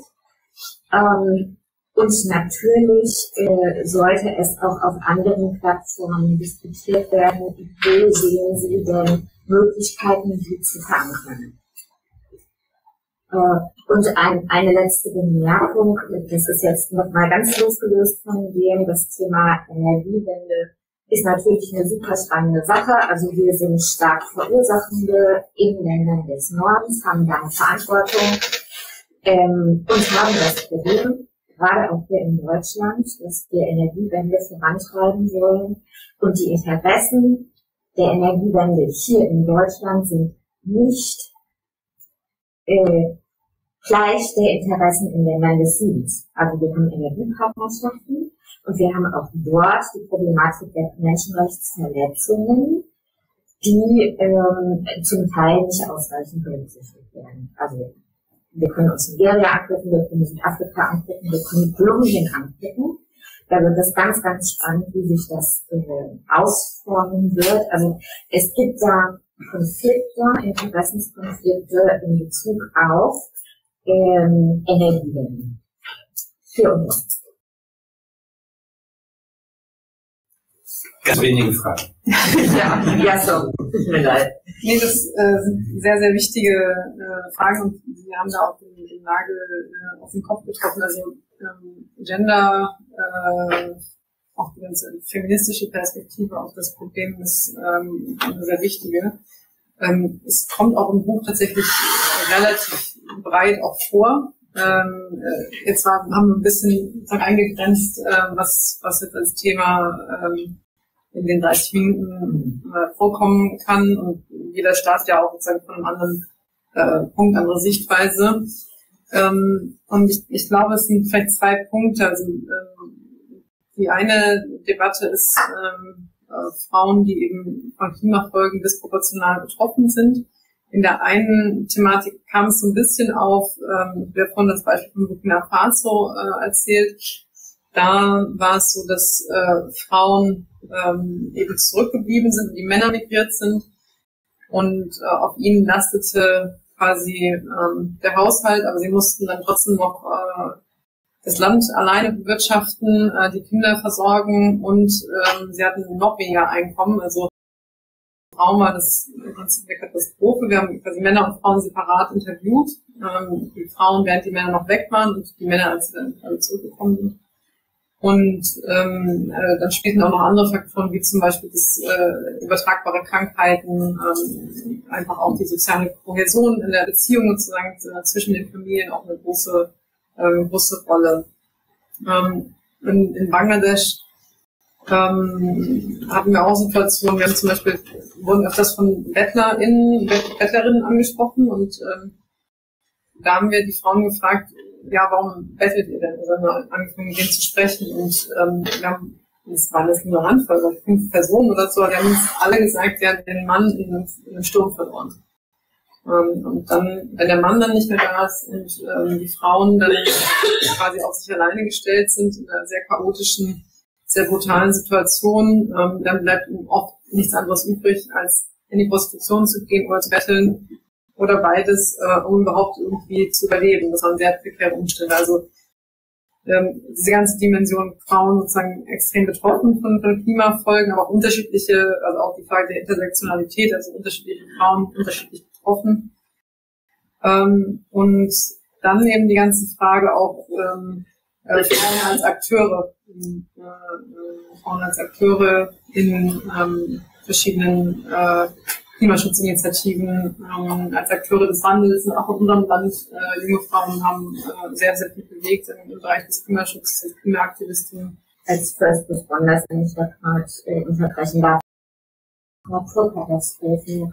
Ja, ja, genau. Also ähm, und ja, also da gibt es sehr, sehr viele Dimensionen, ähm, auf die man da, da blicken, blicken muss und da bin ich äh, total äh, bei Ihnen. Es, geht ja auch nicht nur um Frauen, Männer, sondern auch um viele andere Dinge. Ähm, und dann ähm, die Frage, ja, Schutzrechte, also ich weiß nicht, ob Sie da vielleicht auch noch drauf eingehen wollen, also in welchen, wo sind die Anknüpfungspunkte, um das zu stärken? Also ähm, es gibt äh, meines Wissens eine große Zurückhaltung, irgendwie in die Genfer Konvention äh, ranzugehen, weil ähm, die Befürchtung ist, sobald man wieder anfängt, darüber quasi da aufzumachen als Dokument, dass dann eher Schutzrechte abgesprochen werden, als dass sozusagen neue Gruppen Schutzrechten zugesprochen werden. Ähm, aber das, da würde mich ihr, Ihre Einschätzung auch sehr interessieren. Ähm, es gibt die sogenannte Nansen Action Agenda. Es gab, ähm, gab schon mal eine Gruppe von Staaten, die sich dann auseinandergesetzt hat, wo es halt große, ähm, ja, also so Maßnahmenpakete gab, was alles getan werden muss. Im Prinzip wurde vor allem geforscht, was ja irgendwie schön für uns als Wissenschaftler ist, aber so die so eine sehr, sehr viel Daten erhoben zum Klimamigration, so sehr, sehr viel Wissen äh, hinzugefügt, weil es eben zu, vor 15 Jahren ähm, war es halt noch nicht so stark erforscht und es gab wenig Evidenz. Ähm, und aber gleichzeitig die Instrumente, äh, um eben mehr Schutz zuzusprechen, die wurden kaum geschaffen. Es gibt bestimmte regionale Konventionen, wie zum Beispiel die Kampala-Konvention, ähm, wo ähm, also diese Vertreibung aufgrund von Naturkatastrophen mit, mit, mit eingebunden ist. Aber ähm, auch da ist die Umsetzung eher prekär. Und wo könnte man jetzt ansetzen? Ähm, ich denke schon, dass es so eine Art Initiative braucht, äh, die von mehreren Staaten ähm, einfach als Initiative beispielsweise im Rahmen der UNFCCC, aber eben nicht im, äh, in der Klimarahmenkonvention, sondern in einer separaten Konvention, äh, wo eben nur einzelne Staaten sich sozusagen dem zuwenden. Aber die Frage vielleicht, ähm, vielleicht erstmal an Sie und dann kann ich nochmal auf die Ressourcenfrage zu Energiewende eingehen. Ja. Die Frage. ja, also es ist leicht zu sagen, was nicht, nicht die Genfer Flüchtlingskonvention anfasst. Aber also ich finde das vielversprechendste, von dem ich weiß, ich will jetzt auch hier nicht so tun, als wäre ich ein Klimamigrationsrechtsexperte, aber das, ähm, das vielversprechendste, von dem ich weiß, ist der erstaunliche Umstand, dass in dem Global Compact for Migration, dem globalen Migrationspakt, der jetzt doch einen gesicherten Stand innerhalb des UN-Systems gefunden hat. Nach sechs Jahren gibt es den immer noch und die Prozesse laufen ähm, dass es in diesem Migrationspakt auch ähm, Aussagen gibt zum Thema humanitäre Pathways to Protection. Also Wege zum Schutz. Die sind genauso weich formuliert wie alles in diesem Global Compact, aber es, man, es gibt einen institutionalisierten Prozess, aber darüber weiter zu deliberieren. Und zwar im UN-Kontext, auf der Ebene der Generalversammlung und institutionell über United, also es gibt eine Sekretariatsfunktion. Also, also da finden Prozesse statt, die ich moderat optimistisch ähm, vielversprechend finde. Und da wäre meiner Meinung nach zumindest jetzt mal institutionell gesprochen, der vielleicht vielversprechendste Ort anzu, ich glaube eher nicht, dass man weit kommt, wenn man das globale Klimaregime versucht, institutionell irgendwie auf Migration aufzubauen. Das kriegen die, die kriegen die unterschiedlichen Interessen nicht zusammen auf den Schirm und kriegen sozusagen keine Konsense organisiert. Aber wenn sozusagen so eine Gruppe von Staaten sich herausbildet, dann vielleicht in diesem GCM-Prozess, das institutionell am besten aufkommt. Ich direkt da dran noch eine Sache nachfragen? Ich weiß nicht, ja, bitte. Ist in Ordnung. Ähm, fällt mir dazu jetzt gerade ein, eine super, super spannende Geschichte, finde ich, ist die kürzliche Entwicklung einer Resolution des interamerikanischen, der interamerikanischen Menschenrechtskommission, die erstmals äh, das Thema Klimawandel mit Menschenrechten verbindet und auch konzeptionell sozusagen zusammendenkt. Und kürzlich haben ja Chile und Kolumbien eine Anfrage gestellt an die Inter äh, Interamerikanische Menschenrechtskommission, äh, welche äh, sozusagen als Pflichtenträger Regierungen, äh, welche Verpflichtungen sie haben, in diesem Kontext Menschenrechte zu schützen. Und ich finde, das ist also eine ganz, ganz spannende Geschichte, aber ist natürlich weit hinter, also ist nicht UN und so weiter und so fort. Ähm, und da frage ich mich, inwieweit solche Dinge noch sehr viel stärker, äh, sagen wir mal, diskutiert, breiter diskutiert werden könnten und auf, auf andere Ebenen auch behoben werden können. Du wolltest, noch was, du wolltest noch was sagen zum Thema Ressourcen. Das war der sozusagen Energiewende hier und dort ist unterschiedlich. Wolltest du darauf antworten? Oder? Ja, vielleicht kurz zumindest. Also ähm, durch die Implementierung des europäischen Green Deals entstehen natürlich sehr große Ressourcenbedarfe. Ähm, gerade im Bereich äh, mineralische Ressourcen, seltene Erden, das ist immer so das Stichwort, äh, guckt. Und da stellt sich aus meiner Sicht auch die Frage, also wir haben ja in Deutschland, in Europa recht, äh, eine recht starke auch, äh, Naturschutzgesetzgebung, die auch ihre völlige Berechtigung hat. Aber dadurch ist es uns auch nicht möglich, bestimmte Ressourcen hier abzubauen, eben durch diese Schutzbestimmungen. Und wiederum in der Demokratischen Republik Kongo bestehen die zum Beispiel jetzt nicht unbedingt. Ja? Oder werden umgangen. Und dann ist halt die Frage, also um dann hier unsere Energiewende zu vollziehen, wird jetzt äh, im Kongo mir der Pristine, also der sehr wertvolle Biodiversitätshotspot des Regenwaldes irgendwie abgeholzt, wenn man es auch hier ähm, im Harz ab, ab, ab, abbauen könnte. Ja? Also da, da sind, glaube ich, sehr, sehr viele Dilemmata, ähm, die sich da auftun, wenn man sich diese ähm, verschiedenen Ressourcenströme irgendwie näher anschaut. Und das Gleiche besteht auch mit Hinblick auf Wasserstoff, was ja momentan sehr, sehr stark diskutiert wird. Mhm. Ähm, wo ähm, auch die Frage besteht, wenn man jetzt anfängt aus Ländern Wasserstoff zu importieren, ähm, wo selbst ein Teil der Bevölkerung, ein großer Teil der Bevölkerung nicht als, äh, also keinen Strom beziehen kann, es so eine große Energiearmut gibt, stellt sich natürlich eigentlich sofort die Frage eine, eine ja, also eines postkolonialen Ansatzes von äh, Fragen von Ressourcen, äh, ja, Nutzung äh, durch EuropäerInnen, die äh, eben ihren Energiebedarf dadurch decken. Und ähm, gleichwohl eben es keine richtigen positiven Nebeneffekte für die breite Bevölkerung, also neben einer kleinen gibt.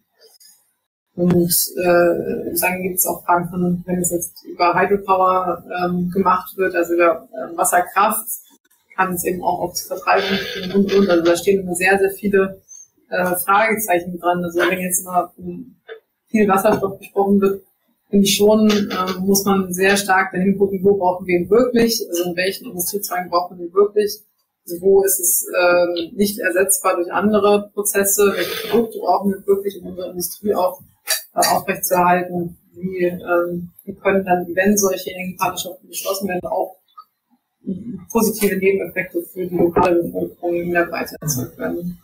Zwei weitere Wortmeldungen hier, da hinten und dann dort. Danke für die spannenden Vorträge. Als Rechtswissenschaftlerin werde ich natürlich mal besonders hellhörig, wenn Lücken im rechtlichen Regime auftauchen. Weil dann kann man kreativ werden, dann kann man sich überlegen, inwiefern bestehende Systeme neu interpretiert, ausgelegt werden müssen. Über die ganze Flüchtlingskonvention haben Sie beide schon gesprochen.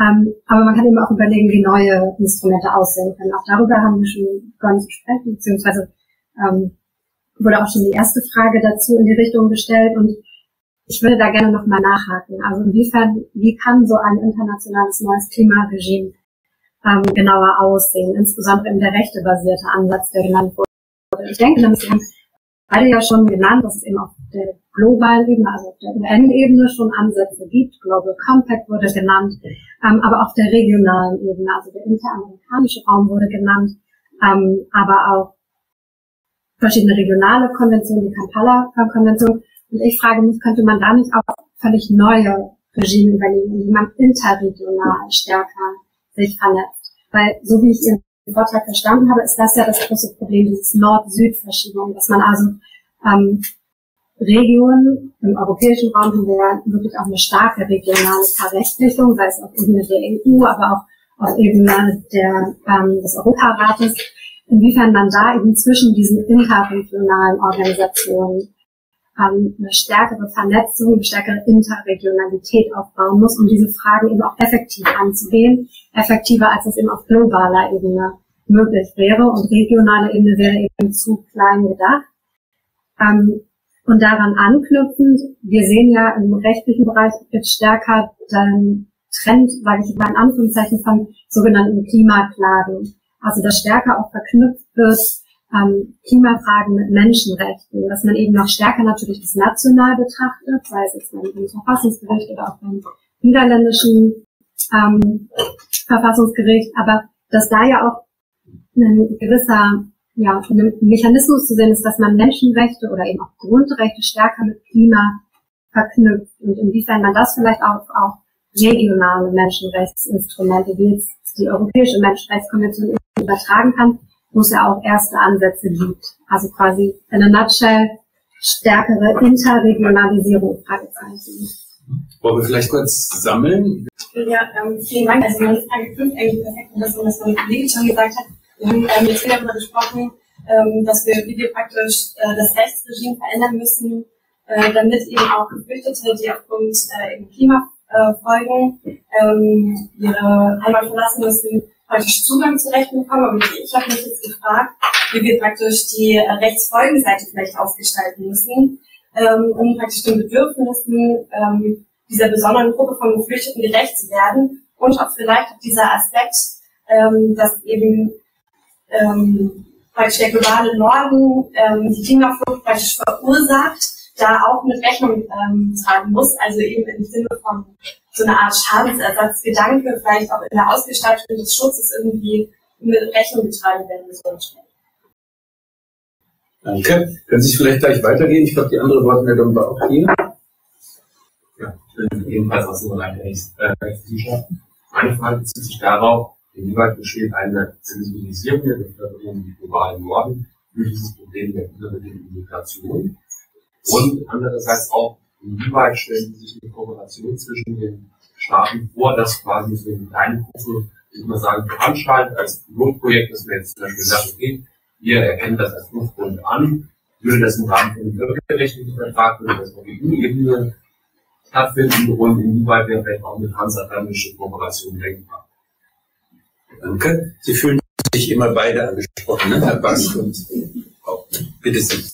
Ja, ich kann ja erstmal anfangen und ähm, meine, meine Perspektive dazu schildern und dann bitte Sie aus rechtlicher Perspektive nochmal ergänzen. Also ähm, allgemein gesprochen ist der Gedanke, die, ähm, ja, insbesondere auch die Industriestaaten anzusprechen und eben dazu zu drängen, äh, mehr Schutz zu gewähren, also andere Gruppen Schutz zu gewähren, die aufgrund von Klimafolgen vertrieben sind.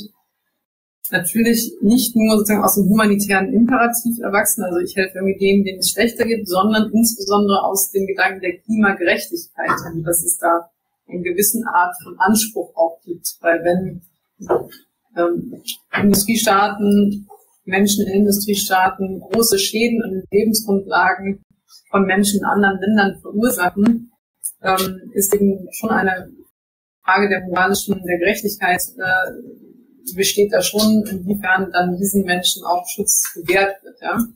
Und damit ist es natürlich dann auch nicht getan, ähm, weil letztlich ähm, natürlich viele Menschen gar nicht migrieren wollen. Sie wollen dort bleiben, wo sie sind. Aber wenn sie dann zur Migration gezwungen sind, dann muss man ihnen auch ähm, ja versuchen, diese, diese Agency wieder in gewisser Weise zumindest zurückzugeben, dass sie zumindest eine gewisse Entscheidungsfreiheit darüber haben, wo sie überhaupt hingehen können. Und da kommt eben ja genau diese Frage von interregionalen äh, Migrationsabkommen dann zur Sprache.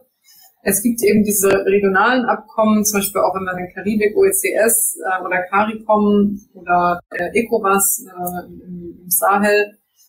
Dort hat man eben eine gewisse Freizügigkeit etabliert äh, für entweder für alle oder für bestimmte Gruppen, Arbeitsmigration. Und ähm, das äh, kann eben schon helfen, gerade in solchen sehr chaotischen Situationen. Aber eben unter dem Aspekt, dass die Verursachung dieser Schäden ja ganz woanders liegt. Äh, und da ähm, ist es eben auch ähm, ja eine Frage der Verantwortung. Wenn man sich jetzt das Moment der Verfolgung, äh, das ist ja das zentrale Element in, in der Genfer Konvention, aber auch des äh, Staates, der den Schutz dann nicht mehr gewähren kann oder will, ja, vor dieser Verfolgung. Also die Verfolgung muss ja nicht nur durch stattfinden, aber kann eben auch durch andere Gruppen stattfinden und dann äh, äh, wenn der Staat keinen Schutz gewähren kann, äh, dann wird Menschen, äh, haben Menschen eben in vielen Ländern Anspruch auf Asyl. Und ähm, da liegt natürlich die Verantwortung letztlich bei dem Staat, der diesen Schutz äh, nicht gewähren kann. Aber in, wenn man sich jetzt äh, das Klimaproblem anguckt, dann liegt die Verantwortung für diese Schäden natürlich in einem anderen Land. Und deswegen denke ich, ist es eben notwendig, äh, aus einer Gerechtigkeitsperspektive heraus, aber auch aus einer Perspektive heraus, dass eben sehr viele Gebiete deutlich stärker betroffen sind im äh, globalen Süden, dass eben auch Migrationswege von Entwicklungsländern, insbesondere eben von solchen, die möglicherweise im gesamten Staatsgebiet unbewohnbar werden, wie zum Beispiel kleine Inselstaaten, dann eben auch Migrationswege eröffnet werden in äh, andere Länder.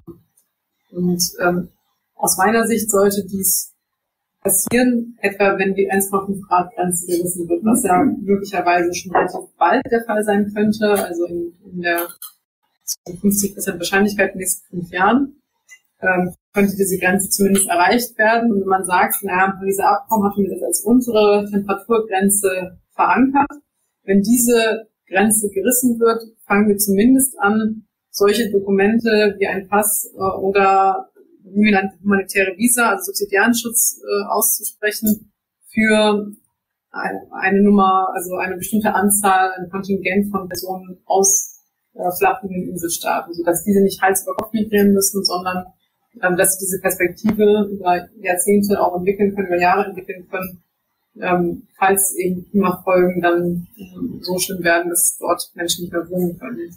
Und ich glaube, dass man jetzt anfangen wird, darüber zu sprechen und nicht erst dann, wenn sozusagen diese ganzen Klimafolgen so extrem werden, ähm, dass es sehr, sehr schwierig wird, möglicherweise einen Konsens darüber zu finden. Beantwortet ist, glaube ich, nicht alle Punkte. Ähm, Aber noch die Frage, ob es so eine Art Club gibt, der Willigen, die zum Beispiel in Euro, ja, die gibt es ja häufig, die Koalition der Willigen, die eben dann sagen, ja, wir machen das jetzt. Also es könnte ja, das hat es ja auch schon gegeben, eine Klimapass-Initiative europäischer oder auch nicht europäischer Länder geben, die sagt, wir schreiten jetzt damit voran und hast aber erwähnt, die, die Bürgermeister. Ja. Mhm. Also sozusagen ist ja nicht nur interregionale Kooperation, sondern auch eine, die zwischen Big Cities oder überhaupt zwischen Städten verabredet, zu, zu verabreden wäre. Um zum Beispiel Sanctuaries, äh, wie es eine Mhm. Zeit lang in den USA gegeben hat, zu einzurichten. Ne? Also nur kurz als, als Ja. Ja, also unter Nansen hat es das ja gegeben. In den 20er Jahren hat es eben Staaten gegeben, die sich dann entschlossen haben, also ähm, das war eben auch Vorläufer von HCR, die dann diese Dokumente ausgestellt haben, also als Unterorganisationen vom, vom Völkerbund. Äh, und dann haben bestimmte Staaten die anerkannt. Und ähm, das waren dann ähm, die sprachen zwar jetzt kein, ähm, keine kompletten Rechte wie ein echter, äh, wie eine echte Staatsangehörigkeit zu, aber zumindest konnte man damit ähm, legal leben und arbeiten in den Ländern. Und ähm, es gibt ja auch ähm, Migrationsabkommen, ähm, wie etwa, ähm, wenn man sich jetzt den Compact for Free Association ansieht in Mikronesien, gibt es verschiedene Staaten, wie zum Beispiel Marshall Islands, aber auch andere Staaten, die eben aus ganz anderen historisch erwachsenen äh, Situationen heraus ähm, durch militärische Bündnisse ähm, Verträge haben mit den USA, wo eben aus Mikronesien, aus den Marshall Islands Menschen aus den Marshall Islands in den USA leben und arbeiten können ohne Visum. Und ähm, das, also es gibt schon solche Instrumente, es gibt sie nur bisher quasi nicht äh, im Kontext des Klimawandels. Und ich kann mir schon gut vorstellen, ähm, dass es möglich wäre, sowas zu schließen, auch als Gruppe von Staaten, wenn man ähm, das beispielsweise bestimmten äh, ja, Kontingenten, bestimmten Gruppen zuspricht.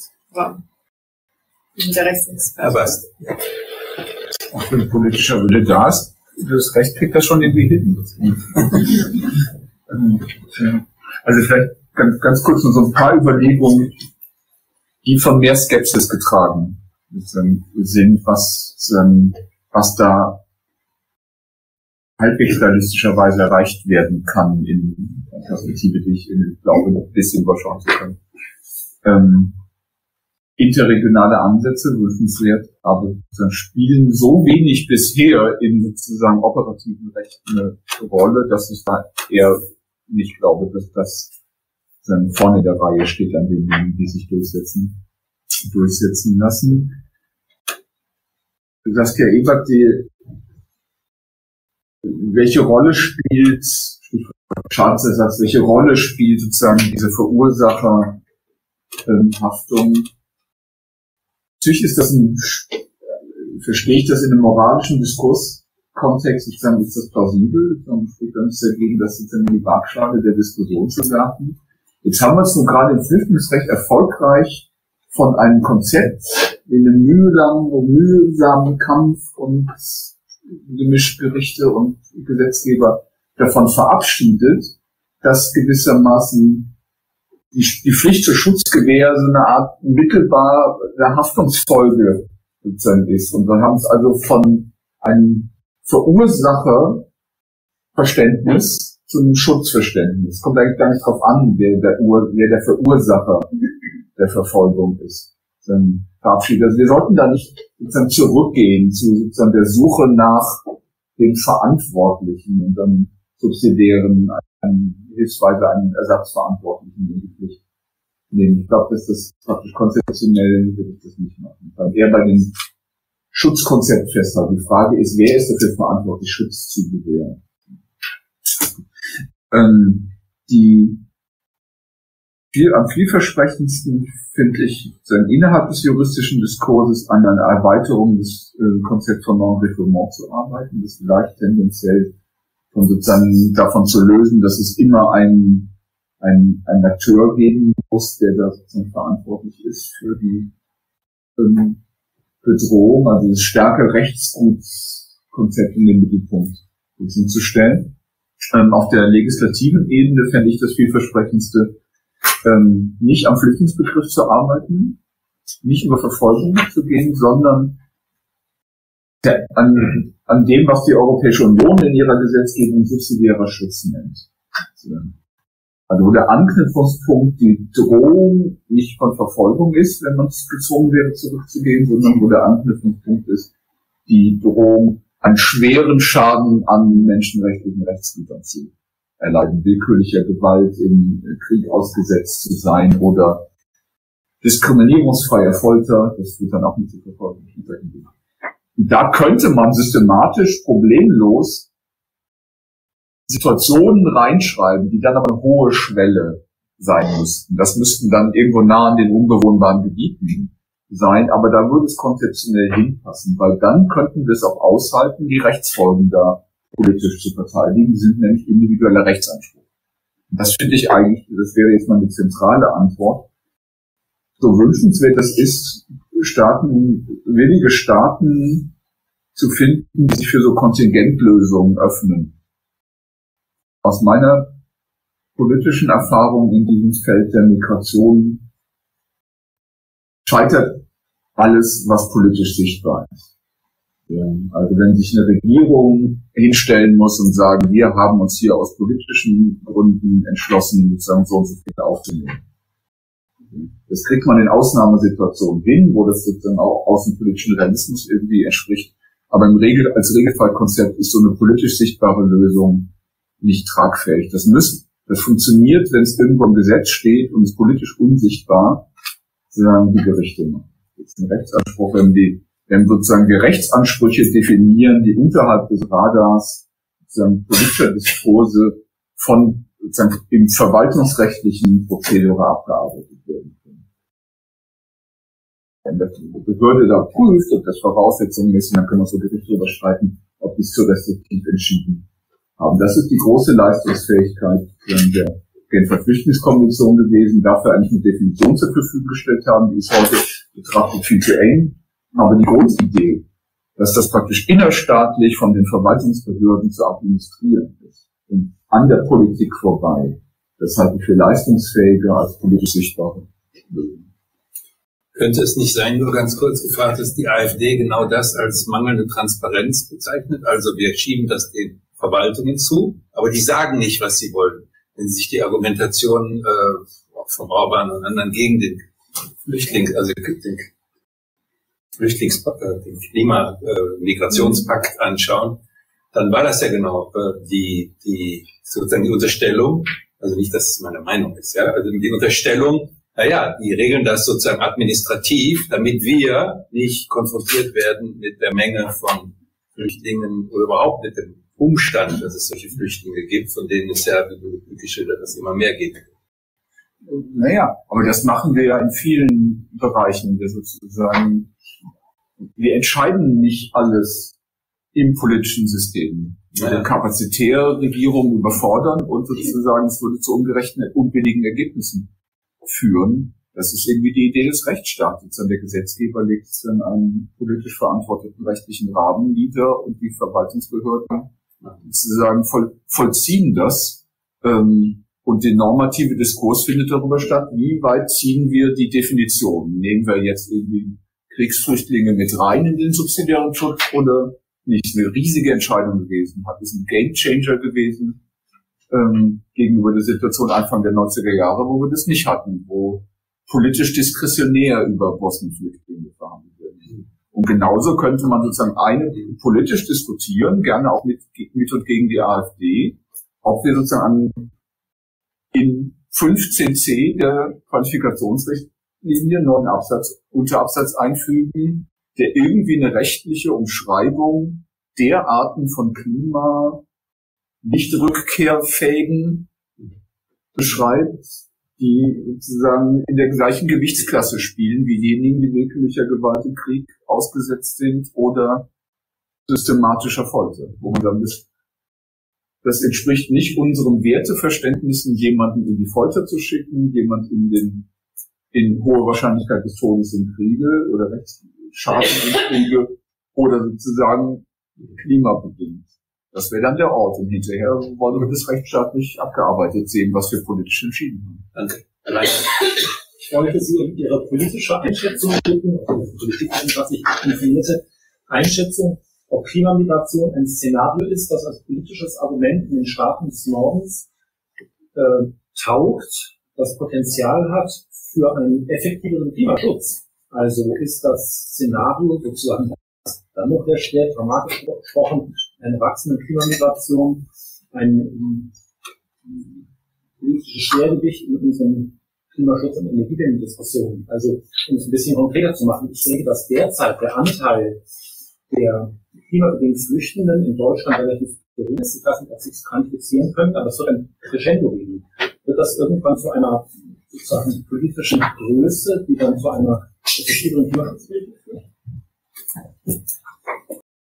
Also es wurde viel diskutiert, ähm, gerade in der Klimamigrations-Community, dass eben bestimmte Szenarien, die auch muss man unterschiedlich bewerten. Also es stehen die Weltbankzahlen äh, genommen, die sind noch mit am solidesten. Es gibt aber auch andere äh, Zahlen, die höher liegen oder eben auch immer wieder Leute behaupten, dass es gar keine Klimaflucht gibt. Ähm, dass jedenfalls die höher liegenden Zahlen auch immer wieder so als Bedrohungsszenario benutzt werden. Ähm, aus meiner Sicht äh, ist es eine sehr schwierige Konstellation, weil letztlich die Menschen ja erstmal auch innerhalb von Ländern migrieren und das eher humanitäre Krisen auslöst. Ähm, ich glaube, das schließt so insgesamt an die Frage der Risikowahrnehmung an. Also ähm, der Klimawandel löst massive humanitäre Krisen aus. Dazu gehört Vertreibung, aber dazu gehört auch äh, ja, der Verlust von, von, von Lebensgrundlagen, die Zerstörung von Infrastrukturen, Gebäuden. Und all das wird ja bisher noch nicht in dem Maße als Bedrohung so wahrgenommen, wie es die Wissenschaft einschätzt. Oder es wird zumindest nicht ins Handeln gegossen, also es wird nicht ins Handeln übersetzt. Und ähm, ich glaube, in dem Kontext äh, muss man das sehen. Und also ich glaube auch, dass eine komplette Versicherheitlichung von Migration äh, nicht erstrebenswert ist. Ähm, aber gleichzeitig, wenn man jetzt den Begriff der menschlichen Sicherheit geht, wo es eben auch ähm, um die Frage von äh, ja eben der der Schutz von Ernährungsmittelsicherheit, äh, der Schutz von ähm, äh, von äh, Zugang zu Frischwasser und so weiter. Wenn man das alles als Grundlage nimmt, dann ist es natürlich auch äh, verbunden mit der Frage, wenn das alles gefährdet ist, sind dann Menschen gezwungen zu migrieren. Ja? Also ich glaube, man kann es auch nicht völlig davon trennen. Die Antworten auf diese ähm, Vertreibung liegen natürlich nicht im Sicherheitssektor. Also ähm, auch wenn man das als Sicherheitsrisiko ähm, wahrnehmen mag. Die Antworten darauf liegen ja meistens in, äh, in der Entwicklungspolitik oder eben in, in der Außenpolitik in der Frage Migrationspartnerschaften äh, etc. Und ähm, wenn man jetzt äh, sich vielleicht nochmal die, äh, ähm, die Frage anguckt, äh, Klimaklagen, auch da gab es ja bestimmte ähm, ja, Klagen, die versucht haben, einzelne Personen, beispielsweise eine Familie aus Tuvalu, das glaube ich in Neuseeland zu klagen, ähm, auf äh, ja, Anspruch zu bleiben, ich glaube auch unter dem Nichtzurückweisungsprinzip. Ähm, und dort äh, wurde das zwar angenommen, die Familie durfte bleiben, allerdings aus familiären Gründen. Und äh, dieses äh, Nichtzurückweisungsprinzip, auch, was sich auf die Klimafragen wohl nicht eben dahingehend erweitert bisher. Ähm, aber ich könnte mir schon vorstellen, dass sich das in diese ähm, Richtung auch entwickelt, wie Sie es gerade äh, skizziert haben. Ja. Also, ähm, aber insgesamt das so als Bedroh Bedrohungsszenario für mehr Klimaschutz zu nehmen, davon halte ich jetzt nicht, äh, das halte ich für nicht politisch opportun. Ich möchte ganz gerne noch ein paar Fragen sammeln jetzt. Da hinten ist eine Frage. Haben wir noch anschließend? Ja, die Nachbarin gleich. Und schon jemand? Dann nehmen wir die beiden Fragen. Genau, also der subsidiäre Schutz hat natürlich ähm, eine Attraktivität und zwar, dass wir uns auf europäischer Ebene. Wenn wir ähm, aber sagen, dass wir den subsidiären Schutz so verändern wollen, dann müssen wir uns natürlich auch von dem Verweis ins Flüchtlingsrecht verabschieden. Dass wir trotzdem Akteur brauchen, von dem dieser ernstliche Schaden ausgeht. Und wenn wir jetzt sagen, ähm, wir stülpen jetzt quasi Klima, also Klimamigration in dem System subsidiären Schutzes ein, würden wir, wenn wir einen Akteur benennen wollen würden, Akteurin aus dem globalen Norden adressieren. Und dann würden wir quasi wieder in diese Spirale kommen, die Sie gerade verhindern wollten. Also, genau, das wäre zu Kommentar einzugehen. Dann wäre es doch eigentlich am vielversprechendsten zu sagen, dass wir jetzt schon eine Artikel 3 Ehrenverletzung haben. Und zwar, dass wir eine erniedrigende und unmenschliche Behandlung haben, dadurch, dass Menschen Existenzbedingungen flüssig Und die Frage ist, was fassen wir darunter? Offiziell sagen wir gerade soziale Existenzminimum, aber sagen auch viele, viele Menschen über das ökologische Existenzminimum. Vielleicht sollten wir uns dafür stark machen und dann gibt es wirklich an den Verwaltungsbehörden zu sagen, ähm, wir erteilen Abschiebeverbote nach 60 Stunden. Aber kann das die Lösung sein auf nationaler Ebene? Ich glaube, das, das ist natürlich dann auch vielleicht diese Gedanken. Dankeschön. Ähm, erstmal vielen herzlichen Dank für den Vortrag und auch für die Reaktion.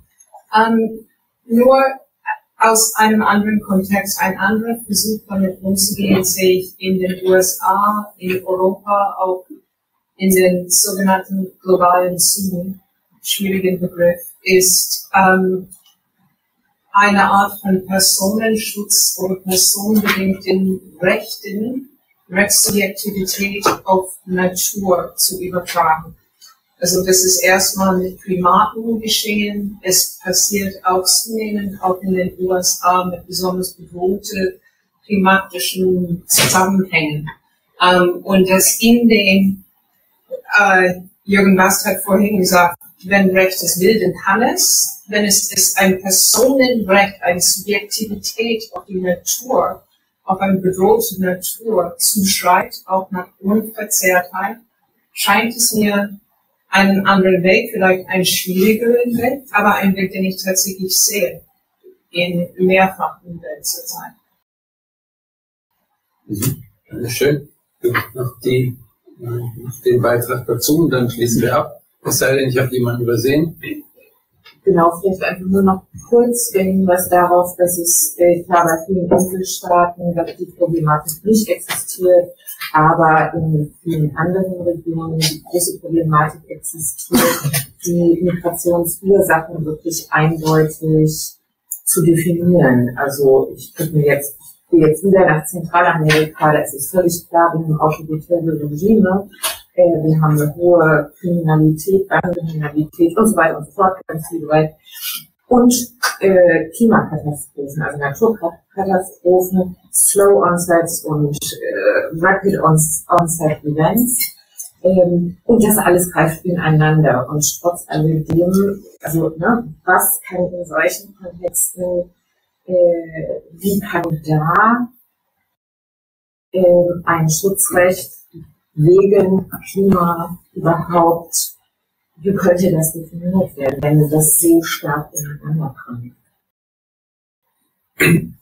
Fangen wir bitte mit Herrn Bast an oder ist dann das Schlusswort?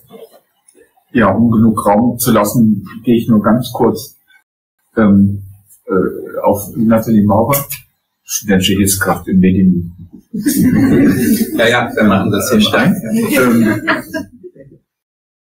ja, das überzeugt mich, was Sie gesagt haben. Da ist, ist das konzeptionelle Problem.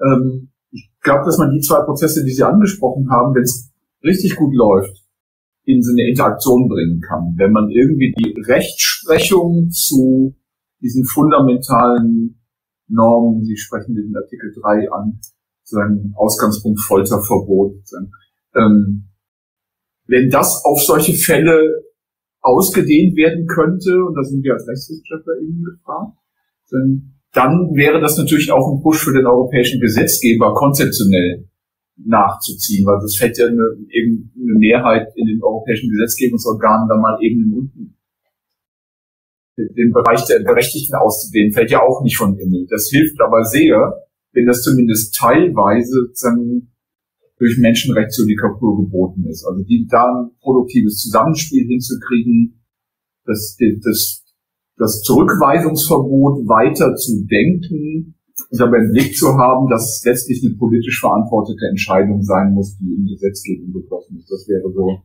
wie gesagt, wenn es gut läuft, könnten diese beiden Dinge produktives Wechselspiel. Kira.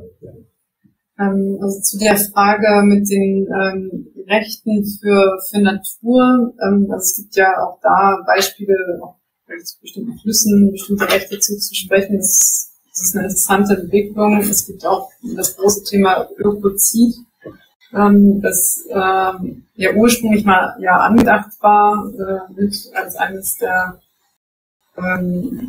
Verbrechen äh, der äh, gegen die Menschlichkeit oder gegen die äh, gegen die Menschlichkeit zu, ähm, zu etablieren, ähm, was dann aber tatsächlich in einer der letzten Verhandlungsrunden abgelehnt worden ist. Und, ähm, nun ist die Diskussion, das wieder zu, ähm, ja, wieder zu etablieren. Ob das kommt, ist, glaube ich, eine sehr große offene Frage und ähm, mit Hinblick auf Migration setzt es ja auch an einem anderen Punkt an. Also ähm, versucht man auch eine gewisse Abschreckungswirkung zu erzielen, also größ, größere Ökosysteme zu zerstören, ähm, um eben dann nicht dafür belangt zu werden. Äh, dann muss man ähm, ja sich vielleicht nochmal äh, die verschiedenen ja, Interventionsmomente vergegenwärtigen, ähm, wo man eben auch eine Vertreibung verhindern kann. Aber man muss eben auch gleichzeitig gucken, dass es eben immer Folgen geben wird. Also wir sind jetzt auch bei allen IPCC-Szenarien auf mindestens 1,5 Grad eingepreist. Also es wird eine weitere Erwärmung geben. Ähm, und die Klimafolgen werden erstmal extremer werden, bevor man möglicherweise eine Stabilisierung an irgendeinem Punkt erreicht. Und das bedeutet eben, dass man für Menschen, die migrieren wollen oder müssen, ähm, auch bestimmte Perspektiven eröffnen sollte. Und das jetzt nochmal auf diese Frage von, äh, wie kann man das abgrenzen? Ich glaube, in vielen Fällen kann man das nicht äh, abgrenzen. Ähm, und da liegt eine große Schwierigkeit. Ich glaube, wenn man versucht, ähm, das stärker sozusagen äh, Schutzanspreche für internationale Migration, ja, also äh, zu etablieren, muss es sehr eng gefasst sein, weil es sonst keine Chance haben wird, äh, sich zu etablieren. Aber es gibt eben auch andere Ansatzpunkte, wie zum Beispiel die, ähm, ja, äh, die Cartagena Declaration war äh, auch äh, aus eben eine aus einer Situation von vielen Vertriebenen aufgrund von Naturkatastrophen hervorgerufenen ähm, Declaration, wo eben Staaten sich dazu bereit erklärt haben, Menschen in der Region aufzunehmen, ähm, wenn diese von Klima- oder von Naturkatastrophen betroffen sind.